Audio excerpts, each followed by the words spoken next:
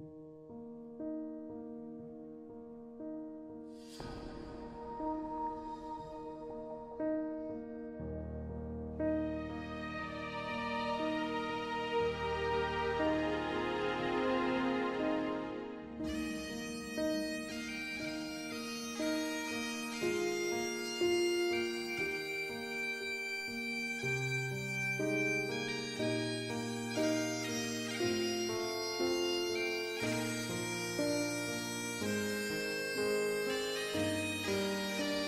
Gurkhas have been working with our country as soldiers for 200 years. They come from the high hills of Nepal. We've lost 45,000 of them in the bravest actions. They fought with us shoulder to shoulder all across the world.